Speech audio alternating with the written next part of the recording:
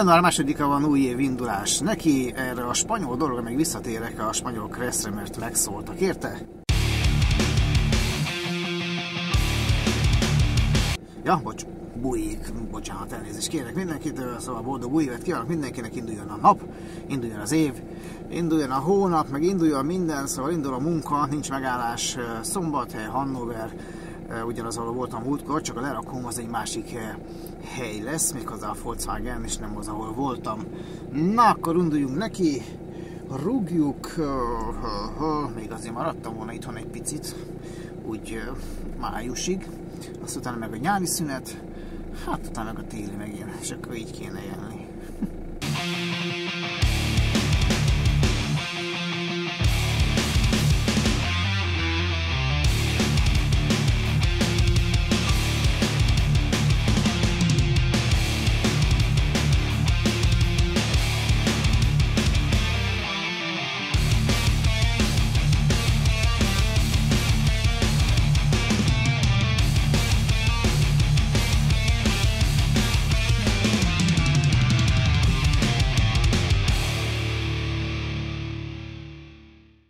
Bárcsak minden rakodás ilyen gyors lenne, meg így flottul menne, mint ahogy most volt, semmit nem kellett várnom, ide jöttem, leparkoltam, bementem az irodába, és egyből mondta a fiú a rendszámot, hogy az úr a rendszámot, és azt mondtam, hogy jöhetek is az autóval, főtolta a három palettát, szóval a Hannoveri cucc, Hannoveri cucc megvan, itt van rajtam, igazából semmi érdemleges dolgot nem tudok mutatni és mondani. Három paletta van. Annyit tudok mondani, figyelj, az nagyon fontos, akik régen jártak Szombathelyen, az régen volt itt egy Delphi nevezetű cég, az megváltozott, most már nem Delphi, hanem Aktív. Aktív lett, és van egy másik, itt van a Look nem messze, Look Savaria volt, az is megváltozott, és az pedig nem lett más, mint meg kell néznem, nem tudom fejből, már egy picit. Hallod, becsukni az ajtót, ez a szép fal, kurva anyját neki.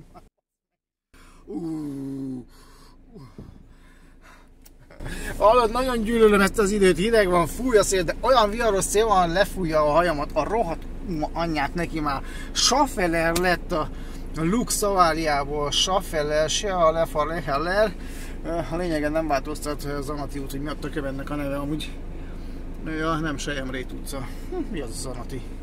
Van ismerőre. Sejemrét út. Utca vagy út. Nem tudom, utca. Hallod, nagyon utálom ezt a szelet, nem bírom. Én, én szélben, hallod, én olyan ideges vagyok. Ezt nem tudom, ezt szerintem örököltem ezt a szélben. Vagy ha fúj a szél, akkor ideges vagyok.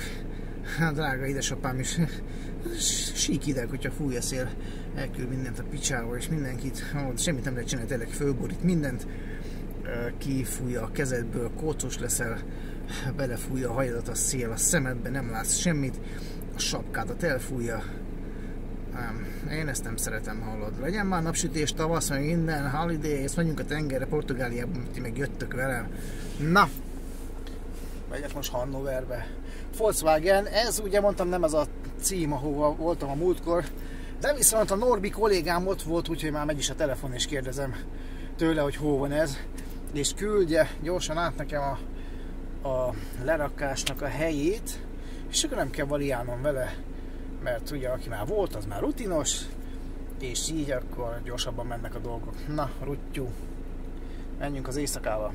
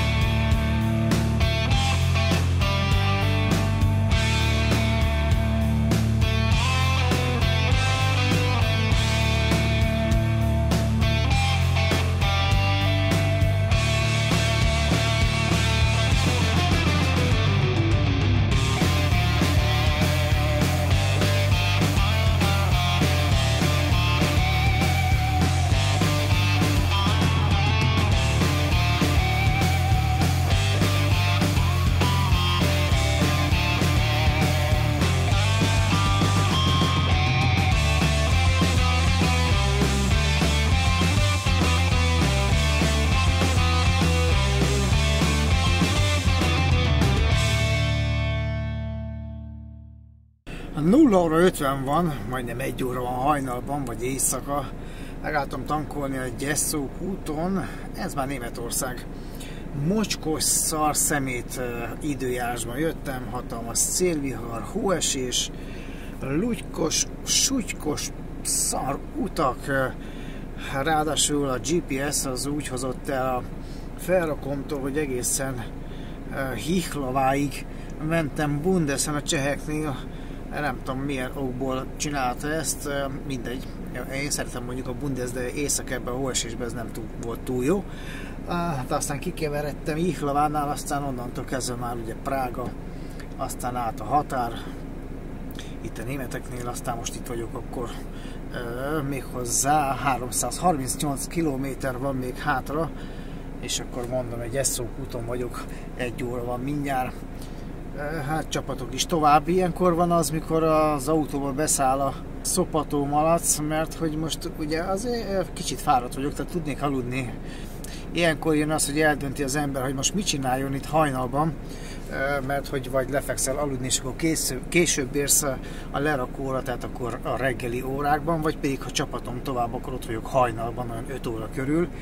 Én mindig azt választom, ilyenkor, hogy a hajnalban ott legyek a lerakónál, hogyha tudom, hogy leszednek, mert hogy ilyenkor nincsenek annyi, mint reggel például, és sokkal gyorsabban végezni lehet a lerakással, mint hogyha reggel 8 körül mész oda, akkor oda csődül a kamion, a kisbusz, a nagybusz, mindenki akkor megy oda, és akkor hát akkor megnövekszik a sor, meg a várakozási idő.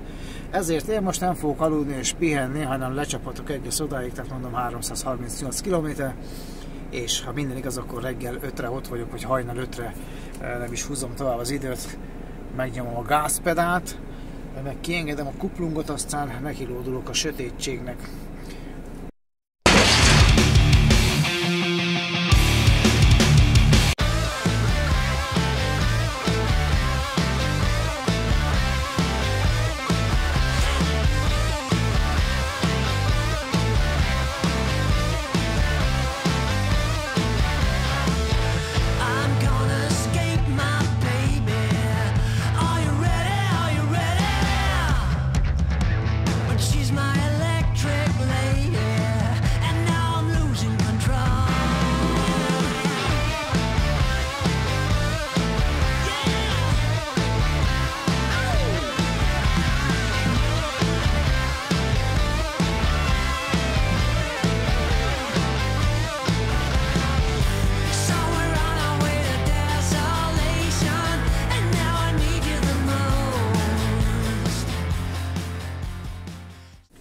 4 óra 20 van, szerintem tök jó időt futottam. Na bemegyek, beviszem a papírokat. Álmos vagyok ám. Ha, úgy néz ki a szemem, hogy sehogy. Hát tököm ki van. Hát jó, bitang hideg van. Ide kell jönni. Ezt a táblát kell keresni, látod? És ha minden igaz, itt van fönt. Ki van írva, hogy itt van a sofőr. Ló, fütty. Majd ide bemegyünk. Vagy mégsem itt van. Norbi Bakker. Hát azt mondtad, éjjel-nappal nyitva ez a buzi Volkswagen. Hallod?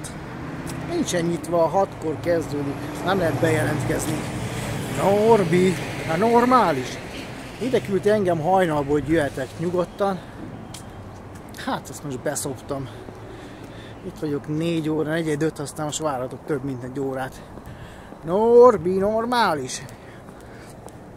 Ez itt mögöttem a Volkswagen gyárnak a főbejárata. De ha minden igaz, akkor nekem nem itt kell majd lerakodnom, hanem el kell mennem egy logisztikához. De a papírokat ezt itt kell megcsináltatni. De ez most akkor várat magára. Hát ez jó nagy szopás. Faszom. Olyan ideg van hallott, hogy nincs is kezem.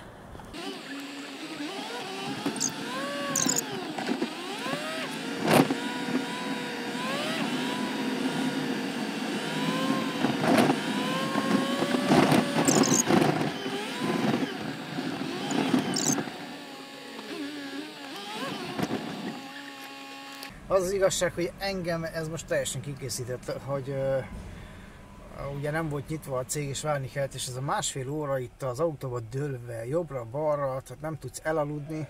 Sokkal jobban kikészít, mintha később jöttem volna, vagy nem tudom, tehát nem, nem alszik az ember egész éjszaka, azt várod, hogy lerakodjál, és lefeküdjél utána. És nem ez van, hanem most várakozni kellett, és ez olyan rossz volt felkelni, ilyen félálomból, azért fölriadtam. Na mindegy, bementem ebbe a csodás ö, ö, irodába, vagy nem tudom, ilyen öt ablakos, ö, hát nevezük irodának, ahol megcsinálják a papírokat, ahol fél órát kellett sorban állnom. Hát hihetetlen, olyan lassan csinálták meg, hogy nem igaz. Nem az enyémet, hanem akik előttem voltak, ilyen buzi lámpák vannak, mindegyik ablaknál öt ablak volt, és uh, akkor mehetsz oda az ablakhoz, hogy a zölden világít. Uh, ezt én most kivártam, bocsánat, közben lesem a targoncást, szóval én ezt kivártam, és akkor az enyémet megcsinálták 5 perc alatt érdekes módon. Jó, nyilván kamionoknak több papírjuk van, az több adminisztráció. Na mindegy, aztán a, akkor megcsináltak papírt, és a Schenkerhez kellett eljönnöm. Adom majd mind a kettőnek a koordinátáját. Megadom a Volkswagennek a fő bejáratát, ott van a bejelentkezés. I can feel my body against the concrete, but I can't seem to get enough. My mind is fixed on what it wants. Illetve a Schenkerhez kellett eljönnöm nekem. I can feel my body cold against the concrete, but I can't seem to get enough. My mind is fixed on what it wants. Itt kellett, vagy itt fogják leszedni, ha minden igaz, a, a, azt a három palettát, amit idehoztam. Uh, megmutatom, hogy néz ki.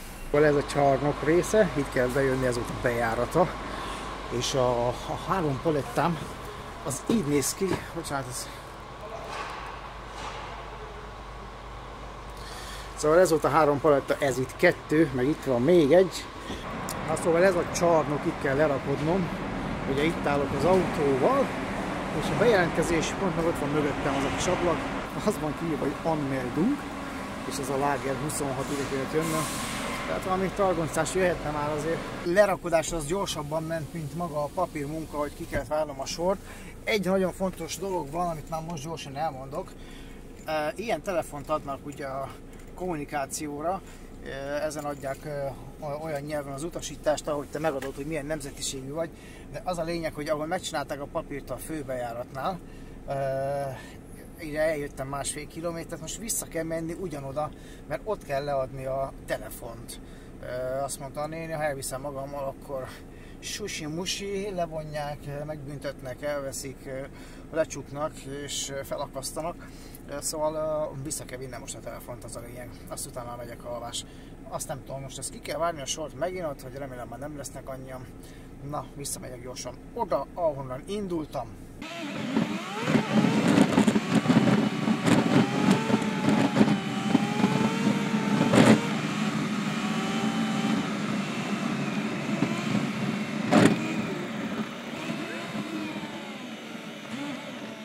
Megvan minden, visszahoztam a telefont, hát, mint kiderült, én ugye beálltam a sorban, nem tudtam, hogy mit kell a telefonnál csinálni. Az a trükkje a telefonnak, hogy nem kell sorba állni és újból kiválni a sorodat és az ablakon beadni, hanem ahogy belépsz az ajtón, a falon balra van egy kis rekesz, és oda kell berakni a telefont, oda bedobod, aztán mehetsz Isten hírével, mint ahogy én is most végeztem, meg van minden dokumentum lepecsételve, leigazolva, anyám tyúkja, minden, tök jó, sötét van még, hal. Hajnal, nem tudom hány már, fél nyolc van mindjárt, olyan sötét van, halad a segbe. Na, megyek aludni.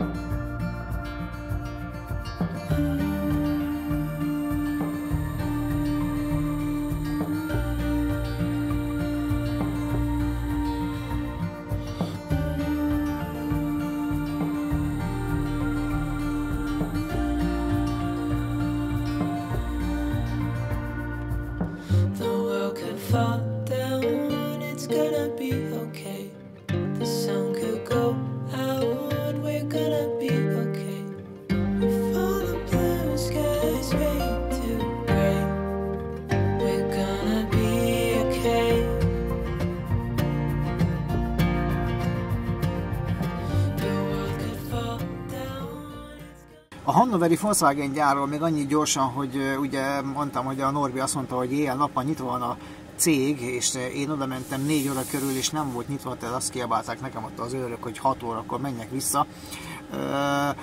A- valószínűleg, a Norbi azt mondja, hogy nyitva volt, hogy éjszaka rakodott le, tehát akkor valószínűleg az lehetett, hogy a, az évkezdés miatt ö, ugye még nem dolgoztak, hanem tehát pont ez volt az első napjuk, és akkor hatkor kezdtek, mert előző nap nem voltak bent. Úgyhogy ez lehetett az egész, tehát akkor bátran menjetek a Volkswagen gyárba Hannoverbe, és akkor leszednek éjszaka is. Amúgy, hát ha jól láttam, akkor ott csinálják a, a mikrobuszokat, transportert, meg ilyeneket. Na szóval reagálnom kell akkor erről a spanyol dologra, mert nem nyugodtam meg ezzel kapcsolatosan. Volt egy fiú, aki elküldött a picsába, így hogy mondjam, sajnos, mert azt mondta, hogy mit rémizgetem a népes Spanyolországgal, ha nincsenek is ilyen szabályok, meg nem is nem, nem történnek ilyenek. Hát szögezzük le először, hogy vannak szabályok, meg vannak ö, nem betartott szabályok. Ö, Tehát én most ezzel nem tudok mit kezdeni. Én azt mondtam el a videóban, hogy miért büntethet meg a rendőr. Én nem azt mondtam, hogy hogyan kell viselkedni és mit kell csinálnod Spanyolországban, és hogy vezetnek a spanyolok, hanem azt mondtam, hogy miért büntethet meg. Tehát ezek a könyök kint van, meg dudálás ilyenért, tehát megbüntethet a rendőr érte ember. Tehát most akármit, akárhogy próbálsz engem elküldeni a picsába, e- ettől függetlenül a spanyol kressz törvényekben ez mind bele van írva és bele van foglalva, tehát ezt nem én találtam ki, nyilván utána néztem a dolognak, nem én, nem én éltem át ezeket, nem az én élményeimet mondtam el, és ezen kívül még van más olyan tényező Spanyolországban, miért megbüntethet a rendőr. Ilyen például, és akkor folytassuk a sort, hogyha már ennyire hülye vagyok, akkor még elmondom azt, hogy azért is megbüntethet a rendőr, ha a GPS-edet nyomkodott vezetés közben, illetve megbüntethet azért is, hogyha veszekedtek, a két autós összeveszekszik az úton, nem tudnak megegyezni, ö, illetve azért is megbüntetett a rendőr, ha autópályán nem tartott be a jobbra tartást, ami annyit jelent, hogy indokolatlanul használod a bal sávot, tehát nem előző vagy nem kerülsz ki senkit, akkor azt nem használhatod, tehát kötelezően a jobb sávban kell menned, ha nem így csinálsz, észreveszi, észreveszi a rendőr, megbüntet. Szóval, kedves barátom, aki te Spanyolországban dolgozol és élsz, az elmondásod szerint, és ez neked nem tetszik, ezek, amit én elmondtam, hát nagyon sajnálom, de vedd figyelembe, hogy ezért bármikor megbüntetett a rendőr, mert ez bele van foglaltatva. Még Spanyolországhoz gyorsan az hozzá tartozik, amit mondtam, hogy szabad, nem szabad. Ha szemüveges vagy, és a jogosítványod szemüveghez van kötve, akkor nagyon fontos, hogy Spanyolországban kettő darab szemüveg kell, hogy legyen az autódban, mert így fogadja el a rendőr, és így nem büntet meg. Tehát ha szemüveges vagy, kettő szemüveget tessék hordani magaddal. Nem Spanyolország az egyetlen fura ország közlekedés szempontjából, amik szabályok vannak írva. Vannak több olyan ország, ahol vannak furcsa dolgok, tehát például Franciaországban, ha nincsen az autódban szonda, akkor azért a rendőr megbüntethet, de majd erre kitérek, illetve például Oroszországban, ha koszos az autód, hát akkor meg megbüntethet a rendőr, azért meg köz, koszos, le kell mosni. Szóval vannak idétlen szabályok, de be kell tartani vagy nem tartani, ezt én nem tudom, de oda kell figyelni, jó? Szóval ennyit akartam mondani. Szóval elnézést kérek, hogyha valakit megbántottam, a fiút letiltottam, innen is üdvözlöm, tehát lehet velem kommunikálni, csak normálisan, tehát úgy kommunikálja velem, ahogy szülő, szüleiddel tennéd, és akkor a hang nem az megmarad normálisnak. Ha valami nem tetszik, mondd meg, ha tetszik, azt is mondd meg, ha meg csúnyán reagálok, hát akkor nyilván annak megvan az oka. Na, szóval akkor ennyit akartam mondani, és Magyarországos itt lehúztam a rolót.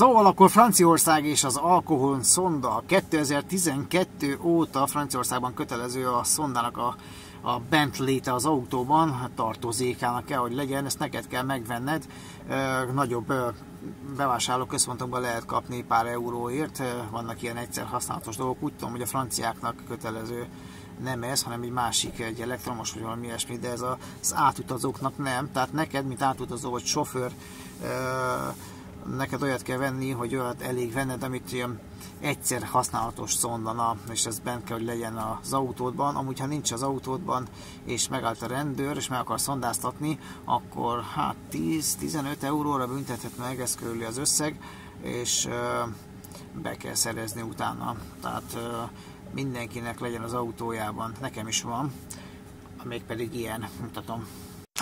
Eljene! Na ez egy szonda, látod? Ott van a francia zászló rajta, tehát Franciaországban lehet kapni, ezt talán egy Löklerben vettem, vagy nem is tudom. De tényleg nem tudom az árat, mert nem most vettem. Szóval ilyet kell használnod az autóba, vagy ilyen legyen az autódban, ha el akarod kerülni, hogy a francia rendőr ne cseszegessen, vagy ha azt mondja, hogy kérem, fújjon bele a szondájába, hát engem nincs szondám, hát akkor fizessen. Szóval, ez a francia szonda. Így néz ki. Oké, okay, ilyen kell lenni az autóban. Így, látod? Nem tudom a nevét, Le Balloon, Le Balloon, uh,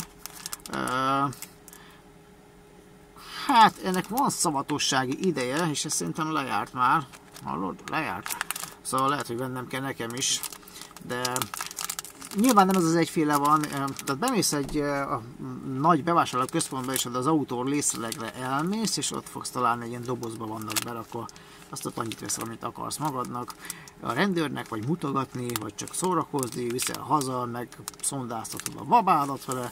Na, szóval ennyit akkor a francia szondáról kell, hogy legyen, oké? Okay? Schnitt. Gyorsan mondok pár érdekes dolgot a különböző országokból, itt vezetési kultúrával, vagy a vezetése kapcsolatos dolgokkal, mert ugye ha majd kiütötte, vagy kiverte a biztosítékot ez a spanyolországi mit szabad, meg mit nem, akkor azért mondok pár dolgot, és akkor következzen az első. Dániában kötelező indulás előtt megnézned, hogy az autó alatt nincs valaki. Németországban nagyon keményen büntetnek azért, ha az autópályán fogy ki a benzin az autódból. Hát akkor neked Sanyi, egyrészt szopsz azzal, hogy nem tudsz tovább menni, meg hogy vannak szerezzél benzint, és jön a rendőr, az még jól meg is csesz. Na ezt kap ki, figyeld, Luxemburgban akkor is kell ablaktörlő, ha az autónak nincs ablaka. Skandináv országokban éjjel-nappal fényszoróval kell közlekedni. Ugye említettem, hogy Spanyolországban nem szabad félmeztelenül vezetni, meg papucsban, ennek az ellentéte Németország, ott úgy vezetsz, ahogy akarsz, ha akarsz mesztelenül vezeted az autódat, egy feltétele van, hogy papucs legyen rajtad, mert esetleges balesetnél, ha megbizonyosodnak arról, hogy azért történt a baleset, mert a papucs miatt elakadtál, vagy nem megfelelő cipő volt rajtad, akkor mélységesen és nagyon megbüntetnek. Szóval vezethetsz mesztelenül, csak cipőben. A múltkor megmutattam, hogy milyen a helyes biztonsági övnek a használata a nénivel. Van három olyan lehetőség, amikor nem kell használnod a biztonsági övet. Én nem tudom, hogy ezt tudjátok, vagy nem. Elmondom, hogy azért okosak legyetek. Az első ilyen, hogy nem kell biztonsági övet használnod, az az, hogyha gyárilag nincs beszerelve a biztonsági öv. A második ilyen eset, ha lükferszben vagy, tehát ha hátrafele tolatsz, akkor nem kell használnod a biztonsági övet. A harmadik pedig nem más, mint az orvos által kiállított papír, ami azt hivatott mm, alátámasztani, hogy neked nem szabad, vagy nem kell biztonsági övet használnod. Ez a három lehetőség van, nincs több, a többiet mindig megbüntetnek, mindenhol kötelező.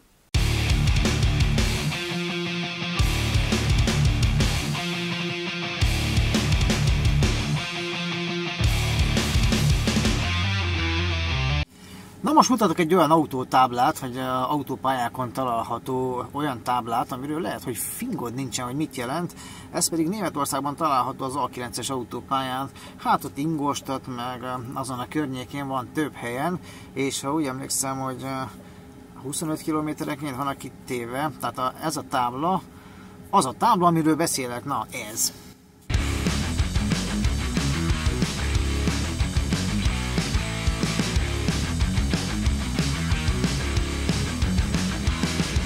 Szóval ezek a táblák azt jelzik, nem neked szólnak, hanem azoknak az autóknak, amelyek önvezetők, tehát a robotok, azokat, azok kémlelik ezeket a táblákat, és onnan tudják, hogy jó helyen vannak, ha ezeket felismerik, tehát ez csak nekik szól, nem neked. Hallod, hol járunk már? Hallod, 28. században vagyunk, és le, előznek lassan a robotok, nem kell majd sofőr, a sofőrök mehetnek a sonyiba, mert jönnek a robotok, és már ki van táblázva nekik az út, halad, félelmetes.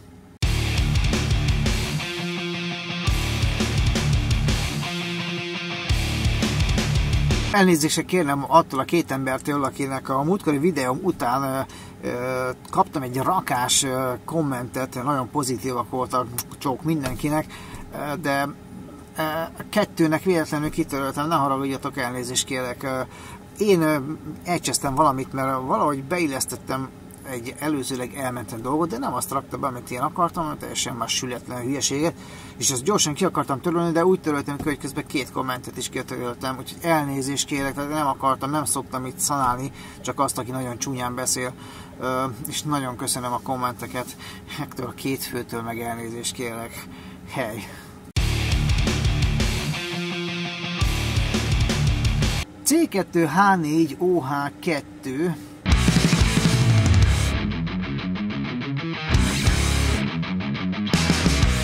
Hát ez egy kémiai vegyület, és ez nem más, mint az etilenglikol. E, most van ennek a szezonja, és azért fogok róla beszélni, mert ugye a fagyállót azt előszeretettel használjuk. De ha már használjuk, ugye, mint sofőrök, akkor meg kell, hogy említsem, ha már szoktam kutyás rovatról beszélni, akkor hát beszélnem kell erről, mert most van szezonja ennek, és ez nem más, mint a fagyálló mérgezés. Oda kell figyelni erre a folyékony lötyre, mert nagyon veszélyes méreg tud lenni macskának, kutyának, de meg az embernek is. Tehát most erről fogok egy pár szót beszélni, mert ugye mert a hidegben maradhat kint, vagy használjuk, és maradhat elől véletlenül, vagy folyhat ki, és előszeretettel nyalják fel a, az állatunk, mert hogy édeskés az íze, és hát be kell vallani, hogy vidéken nagyon sok helyen használják ezt a vegyületet, vagy ezt a folyadékot patkány, illetve egér írtásra, ki szokták rakni pajtákba, meg mellékhelyiségekbe ezeket a folyadékokat egy kis kupakba, és abból megiszák az állatok, és hát veselégtelenségben elhunynak. Szóval ez vár a kutyára is, és a cicára is, hogyha belekortyol ebből, vagy megiszik egy nem is túl nagy adagot, tehát cicánál már nagyon oda kell figyelni, mert egy nagyon kicsi mennyiség is halálos a cicának, tehát például marad egy flakonként, és abból kifolyik, vagy abból bele tud nyalni, hát az elviheti a cicádat, tehát nagyon körültekintően kell bánni ezzel a mérgező vegyülettel. Tehát mélyrehatóan nem fog belemenni a mérgezésbe, meg ennek a tüneteinek, meg hogy mit csinál a szervezet a, ezzel a szerrel. Az a lényeg, az etilén glikolt a szervezet háromféle e, részre robbantja szét. Az egyik része e, az idegrendszert, e, vagy az agyat támadja meg, ezért lehet olyat látni, hogy idegrendszeri problémák, vagy olyan, mint a részegség. De a másik része pedig, ami a veszélyesebb, van egy elsavasodás, illetve van pedig a legveszélyesebb dolog, az pedig a, vesét érinti az állatoknál, meg az embernél is, ami hát nem túl kedvező kimenetelű szervkárosodást fog eredményezni. Az etilélglikon a szervezetbe jutva különböző bomlás termékekre bomlik, vagy különböző vegyületekre bomlik, és ezek a bomlás termékek eredményezik magát a mérgezés, vagy a mérgezésnek a tüneteit. Vannak agyi, illetve vesekárosító vegyületek, ezek közül a legveszélyesebb ugye a vese. Említettem, hogy három dologra robbantja a szervezet ezt a veszélyes anyagot, ebből az oxásav az egyik legveszélyesebb, ami a vesében kikristályosodik, és ott okoz a vesében szövetpusztulást, vagy a, a szervnek a, az elhalását, szóval ez okozza a halált. De most már nem fogok ebbe belemenni, mert nem állatorvosi képzésen vagyunk. Az etilégrikolnak a szervezetbe jutása hasonló tüneteket fog okozni, mint az alkohol. Például ugyanolyanokat, azokat a tüneteket vehetjük észre, düröngélés, szédülés, jobbra, balra, kószál, se tudja, hó van, részeg, mint a dög. Láthatjuk, vagy azt láthatjuk rajta, illetve a hátsó végtagoknak a bénulása is előjöhet, vagy előfordulhat. Még a tünetekhez hozzátartozik a hányás is, lehetséges. A felvételt után, vagy a mérgezés után, vagy az, tehát az elfogyasztás után fél és 6 óra között előjönnek ezek a tünetek. 21-36 óra múlva viszont meg már előjönnek az idegrendszeri, illetve anyagcsere zavarok, vesekárosodás és egyebek. Az agy károsodása miatt rángó, rángógörcsök keletkezhetnek, illetve a vesekárosodás miatt pedig hát csökken a vizet mennyiség, illetve meg is szűnik. Ha észreveszünk, hogy kutyánk, cicánk benyelte ezt a folyadékot, tehát lefejtett belőle, haladéktalanul állatorvoshoz kell fordulni. Az idő, az idő intervallum nagyon fontos, nagyon figyeljetek oda, azonnal kell cselekedni, mert az idő ketyeg, és az állat az életveszélyben van. Amíg nem érkezik meg a segítség, vagy nem jutottunk el az állatorvoshoz, itathatunk az állattal tömény alkoholt, ez nagyban segít az életben maradásban, és a, a kutyának, illetve a cicának a, hát az állapotán nagyban tud javítani. Azért azt tudni, hogy ez a mérgezés, hogy ha időben is elkezdődik a gyógykezelés vagy az ellátás, hát ennek a mérgezésnek a prognózisa az nem túl jó szokott lenni, tehát túl sok és nagy reményünk ne legyen benne, szóval ez egy nagyon hatásos méreg. Van még egy lehetőség egy gyors segítségre, az pedig nem más, mint a hánytatás. Ha láttad, hogy is valóban tudod, hogy benyelte a kutyán, akkor azonnal meg kell hánytatni. Kutyánál a legegyszerűbb módszer, hogyha gyorsan meleg vízben oldasz fel egy-két pár kanálnyi sót, azt elkevered, fölbomlik, vagy feloldódjon benne, és ezt a sós meleg vizet fecskendővel lenyomod a kutya torkán óvatosan, hogy félre menjen, de adagolni. Egy deci e, ilyen sós lé e, az már segíthet a hányásnak, tehát ezt meg kell lépni, e, mert ha kiürül a szervezetéből vagy a gyomorból visszajön, akkor az elég jó és hatásos lehet. Viszont azt tudni, hogy a hánytatásnak csak két, á, két órán belül van eredménye, tehát hogyha két órán belül tudod ezt megoldani, ha nem, akkor Sanyi, akkor lőttek. Az egész mutatványnak nincs értelme hánytatni, mert már felszívódott az anyag. Ha sikerült a hánytatás, akkor még lehet adni széntablát is a kutyának, azt is fel tudod oldani, vízben feloldódik, és ugyanúgy fecskendővel be tudod adni, az is jótékony hatással van a szervezetre. Hát az adagi azt nem tudom, 2-4 széntabletát feloldasz, aztán benyomod neki. Természetesen hánytatni csak olyan kutyát szabad, ami alkalmas erre. Tehát ha már hányt a kutya akkor nem szabad meghánytatni. Ha eszméletlen, ha rángógörcsei vannak, ha epilepsziás rohama van, ilyenkor nem szabad hányásra kényszeríteni az evet. És itt hívom fel mindenkinek a figyelmét arra, hogy aki fagyállót kihelyez állatmérgezés céljából, az állatkínzásnak minősül, és az bűncselekmény úgy emlékszem, hogy 150 ezer forint pénzbírság járhat érte, tehát ezt a fajta állatpusztítást vagy írtást ezt ne csináljuk, mert bűncselekmény. Persze tudom csinálják, tehát most érted, ez most megint ugyanaz, mint a spanyol, ilyen hülye vagyok, ilyeneket mondok, hát hát érted, mindenki ezt csinálja a falun. Hát jó, csak én elmondtam, hogy ez bűncselekmény.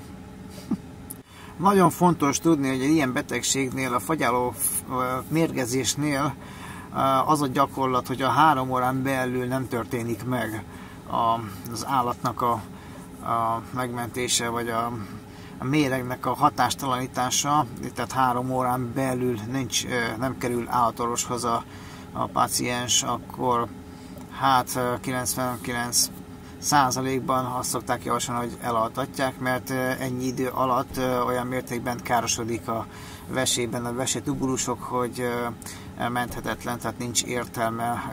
Egy idő után úgyis halál lesz a vége, fájdalom és kín után. Ezért azt szokták javasolni az állatorvosok, hogy altassák el a kedvencet, mert úgyis ez lesz a vége, és így meg tudják menteni őt már legalább, hogy fel tudják menteni őt a szenvedéstől. Szóval nagyon kevés idő áll a gazdinak arra, hogy kutyáját megmentse, ezért nagyon legyetek résen, és figyeljetek oda, hogy mit teszik és iszik meg a kutyátok, cicátok, tehát ha van ilyen otthon és a garázsban, azt tegyétek el jó helyre, mármint ilyen fagyáló folyadék,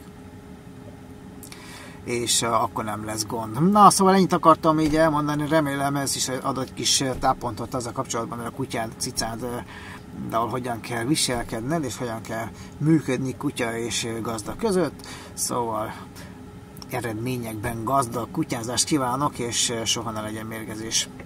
Oké? Okay? Na, szóval akkor szavaztok, jó kutyázást!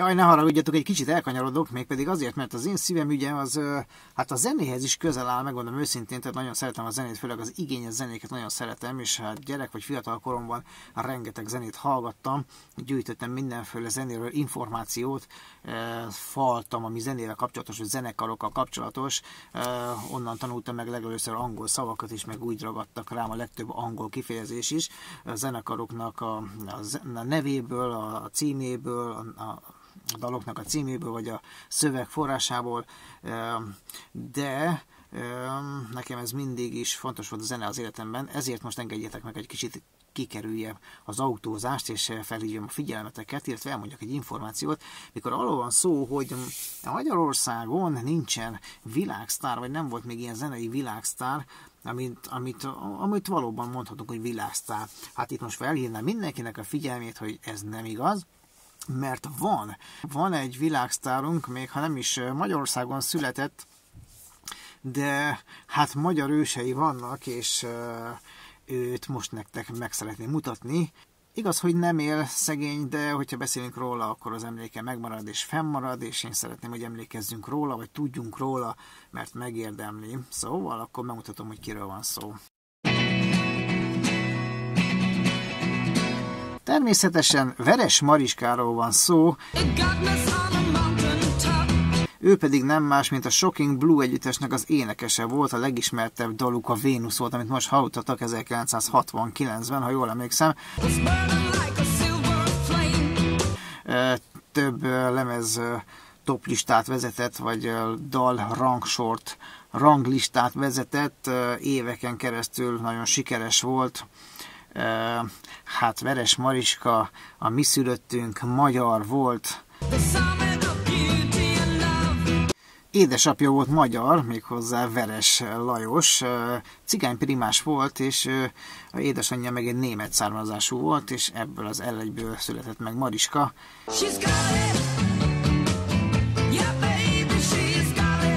1947-ben született Mariska Hollandiában, Hágában és 2006-ban hunyt el rákban sajnos. Hát emlékezzünk meg rá, és ne felejtsük el. Megmondom őszintén, nagyon büszke vagyok rá, és nagyon jól esik a szívemnek, hogy van ilyen is, hogy van egy nagy magyar sztárunk. Sajnos elfelejtik az emberek, hogy feledésben merülnek ezek a dolgok. Én szeretném, hogy ezek nem maradjanak így, hanem mindenkinek az emlékét megélőzzük, ha lehetséges. Szóval ez volt Veres Mariska és az ő története innen Magyarországról, meg Hollandiából.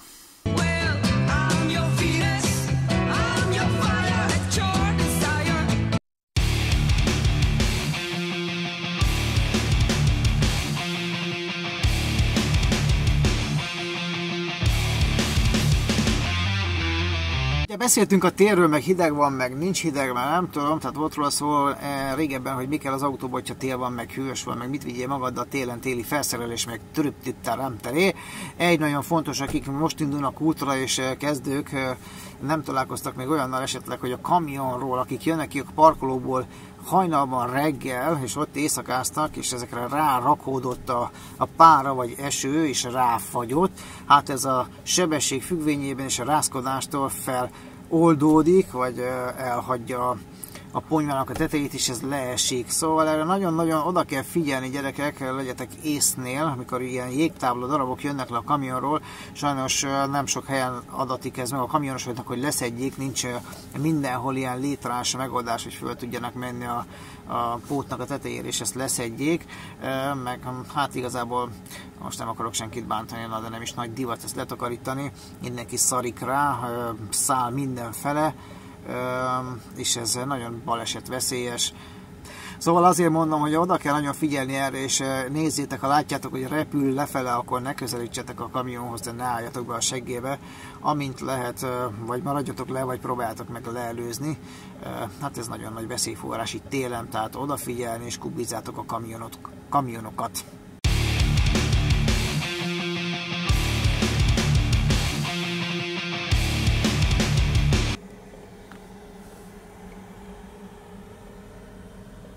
Hello! Hát kijöttem a fiókból. Gyerekek, 10 óra van, 10 óra 10 van. Hát azt nem mondhatom, hogy túlaludtam magam, vagy jó, de kialudtam magam, 8 órakor feküdtem le reggel, és most 10 óra van, tehát 2 órát aludtam. A napfény. Az égen nagyon szépen süt nap, de hideg van. Az igazság, hogy én szóltam a főnökömnek, hogy ha bármi van, egyből keltsen fel de várakozzunk meg, nem alszunk, tehát hogyha van munka, az gyorsan meg kell csinálni, hogy fel kell venni, elmegyek érte felrakodni, aztán majd utána megállok pihenni, mert arra szerintem lesz idő, de az a lényeg, hogy most el kell menni, mert haza kell érnem, hétfőn menni kell. Szervizbe, be van jelentve az autó ö, olajcserére, meg minden lófűt cserére, és tehát arra illik hazaérni ezért uh, én mondtam a főnöknek, hogy bármi legyen, hát akkor keltsen fel, na, ne legyen szívbajos. Hallod, nem volt szívbajos, 10 óra 10-kor felkeltett. Szia, szia, aludtál? Hát nem. Nézegettem a párnámat. Hallod? Jó van, na. Megyek, megyek rakodni, jó? Nem tudom hova, most kaptam SMS, meg semmit nem tudok, alig látok. De még mielőtt valami rossz akaró azt mondaná, hogy ez a kurva a furgonozás, látod, erről beszélek, hát én vállaltam, tehát én mondtam, hogy keltsen fel. Jó, na, majd alszom valamikor. De most elmegyek gyorsan felrakodni 200 valány kilométer, össze kell pakolnom. Na, csak ennyit akartam gyorsan mondani, illa belek nálad a kerek, azt a márnak nagy a füle, mégsem ő a fülemüle, arra brám, gyerünk tovább. Na, szóval az ügyes sofőr, hogyha felöltözött meg, kész az útra, indulás előtt mit csinál? Elnézi az autót nem ékelték ki itt a nagy, nagy alvásomba. Hogy aludtam két órát. Hogy az legyen, hogy valaki bántotta itt az autót, ezért meg kell nézni elő a hátul. Nincs válni rendellenesség az autóban. Ugye? Ugye? Ja, nem? De hát tök jó minden. Így bemutatom, hogy ilyen jól néz ki az autó ebben a hóesésben. Hát szerencsétlen nagyon koszos. Á, így néz ki szegénye, ezt nézek.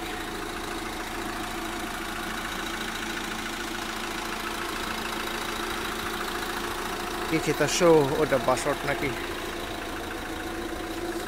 Na jó, menjünk. Na, látod ezt a grill sütős? Vagy mi ez a grill csirkesütős autót?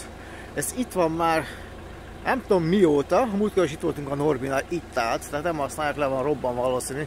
Ahol ez egy kincses bánya ez a grill. Ha, mi a tököm.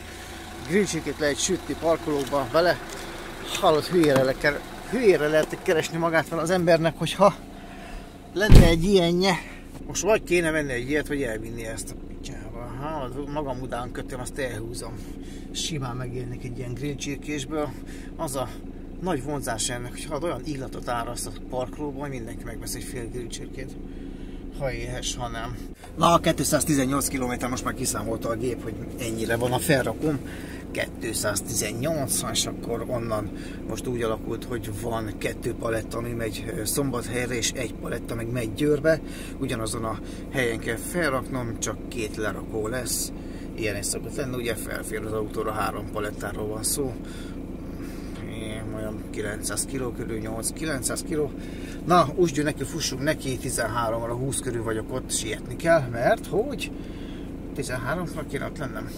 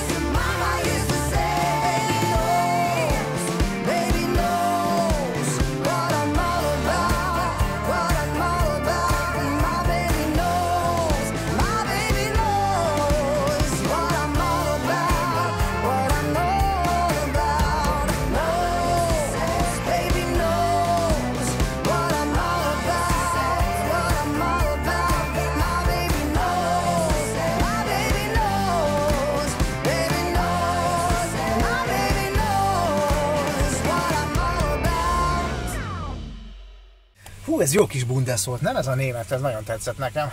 Remélem átment valahogy a képernyőn, vagy a monitoron, vagy a telefonon, vagy nem tudom mi, tehát a mozgó képen. Látható volt, hogy milyen szép Németországnak a Bundes része, én nagyon szeretem. Kicsit hasonlít Angliához különben ez a rész. Na, amúgy különben megérkeztem, itt vagyok benne a csarnokban. Beszéltem egy targoncás fiúval, azt mondta, jöjjek be, nyomjam meg a gombot, kinyílik a, az ajtó, a kapu, libacombot nem kapok, és akkor álljak be ide. Azt most nem tudom, hogy várjak, hogy menjek be valami irodába, azt nem mondta, eltűnt mindenki. Na, várakozás van.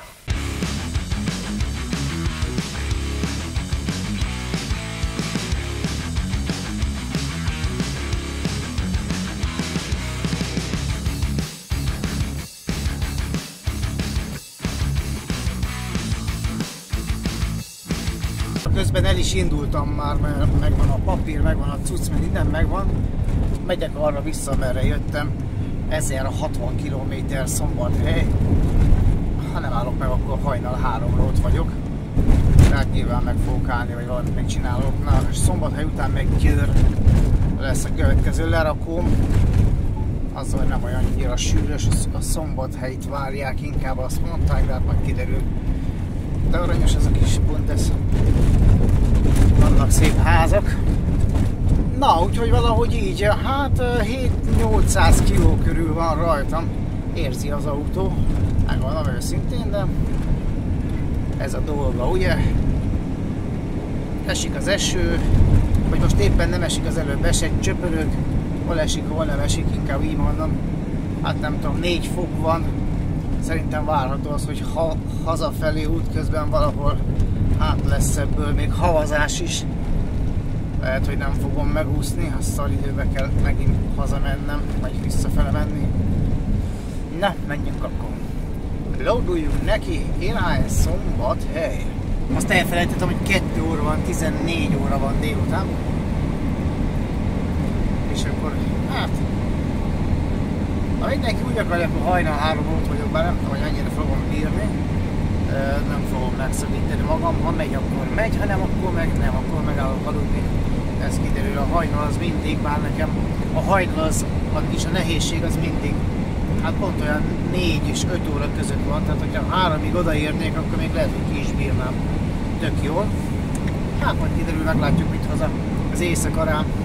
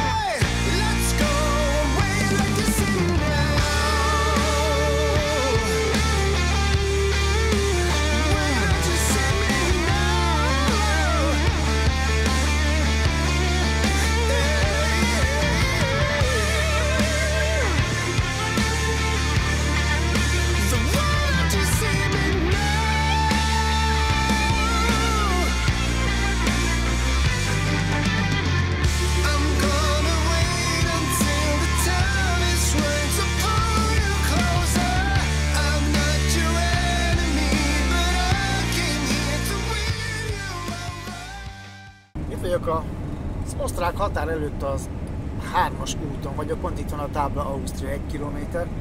De most nem most azt akartam, hanem hogy szembe mocsok sokan jönnek, viszont az én sávomban visszafelé meg senki, hallod, sem mögöttem, nincsen senki, nem jön. Mondjuk e- elől most látszik egy kamion jön, de hallod, percekkel ezelőtt senki nem volt sehol. És ilyenkor mindig az az érzésem, hogy basszus, le van zárva az az út, miért tökény majd eltűntek az emberek, és én vagyok egyedül az autópályán. Állandóan beparáztat az ilyen jelenség. De hogy hova a tökönbe jönnek ennyien szebe, azt nem értem. Már remélem nem azért, mert a hóvihar van Ausztriában, és így föltornyosultak, vagy föl torlódott a sor, aztán most meg így kiszabadulva elindul a tömeg. Hát bízom benne, hogy nem. Az előbb volt hóvihar itt Németországban, annyi elég is volt, mondta ki volt. Most megyek át a vizen az In folyón, ez a határ, amúgy az In, az In folyón sem látszik, az In folyó a határ osztrák-német, itt Passau után, Zubennél vagyok.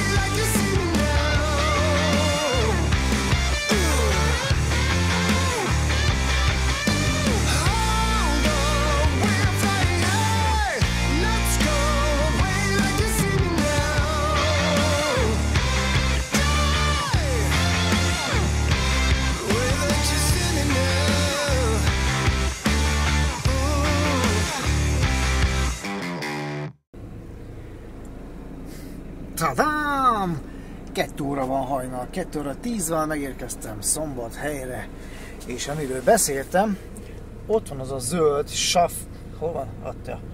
Az a Schaffler nevezetű felirat, az volt a régen a Lux Savaria, az az érdekesség, ezt a múltkor mondtam, hogy a valamikor említettem, hogy megváltoztatták a Lukot Savaria-ra, de is, a Lukot Schafferre, vagy Scheffler, nem tudom, hogy mondják, mindegy, és az az érdekes, hogy én most kap, idehoztam a árut, és a, a CMR-re is az van írva, hogy Luke Savaria. Hát ezt még nem írták át.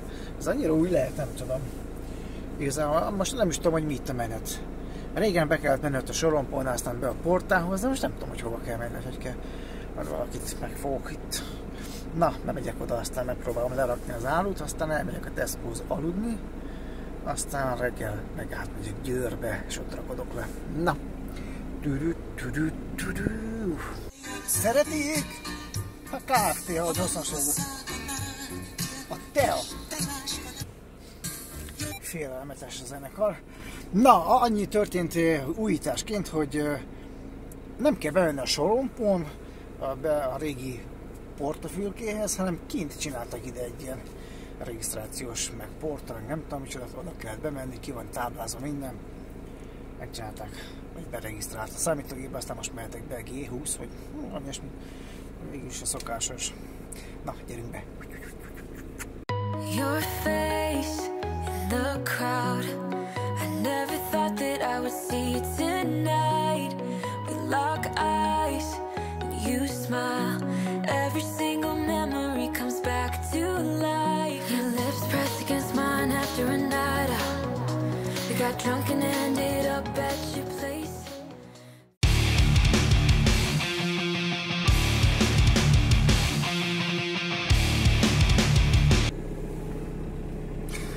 Péntek reggelesi, jó reggelt kívánok! Szombathely! Öcsinek a lakhelye. Ha emlékeztek még, öcsire, aki a kutyával, kutyákkal járja Európát. Na, szóval a Tesco parkolóba, itt aludtam, és 8 órakor, 8 óra 1 perckor csörgött a telefonom. Rég volt ilyen nehéz felkelnem, valahogy nagyon nehezen viselem én ezt a kerést. Ja, úgyhogy nem aludtam most, ó, oda vagyok. Uh, most 8 óra 10 20 van. 18, 8, 18, nem 20 perc kellett ahhoz, hogy magamhoz térjek. Mert, uh, ja, gyorsan be kell mennem a Tesco-ba, vennem kell a ablakmocsót, mert mindent elfújtam. És amit kaptam a cégtől, a főnökömtől, a múltkor az a Norminál maradt, úgyhogy nálam most nincsen, de veszek gyorsan a Tesco-ba. Aztán akkor tűzök. Győrbe. 2274 kilométert mentem egész pontosan Szombathelytől Szombathelyig, mert hogy ugye innen indultam Szombathelyről eh, ugyanabból az utcából, de nem ugyanabból a cégtől, és ennyi lett. De most akkor még elmegyek Győrbe, aztán úgy haza.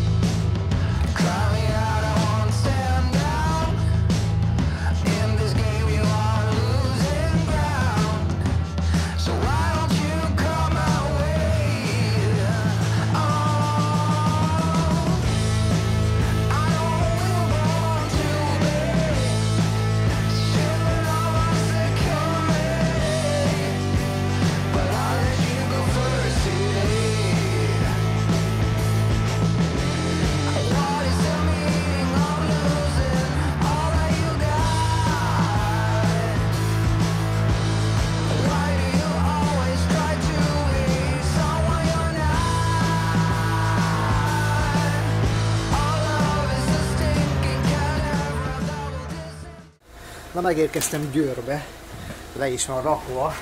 Ezek voltak itt, most nem nagyon látszik. Kaptam egy palettát, és arra kipakoltam. És mégis a targoncás idehozta a palettát, de azt sem mondta, hogy húzd meg a tökömet. Hát tényleg rárakottam. Aztán jött egy ember, közben megszámolta, megvan darabszámra. És mehetek haza. Hát srácok, megint ennyi lett, és ilyen rövid lett ez a kanyar, hát Németország volt. Ö, ja, a szerviz miatt ugye nem lett hosszabb ez az egész dolog. Most már nagyon vágyom azért Portugáliába és Magyarországba. Remélem lesz ilyesmiben is részünk. Nektek is, meg nekem is, és ö, elmehetünk oda. Na szóval akkor az van, hogy elmegyek haza, mert kitört a hétvége mindjárt. Ö, péntek van. Még elmegyek pápára, szerintem elviszem a papírokat. Aztán haza, és hétfőn akkor folytatás a szerviznél és onnantól kezdve meg nyitott lappal játszunk, mert nem tudjuk, hogy mi lesz utána. És most is, mint mindig, nagyon szépen köszönöm a megnézéseket, a lájkokat, a hozzászólásokat, legyetek aktívak, legyetek szívesek, mert ez nekem nagyon jól esik, és nagyon jó olvasni, hogy kommunikáltok, nem csak velem, hanem egymással is, úgyhogy nagyon jó fejek vagytok, köszönöm szépen, peace, béke, meg ilyesmi, ölelek mindenkit, szevasztok, ciao.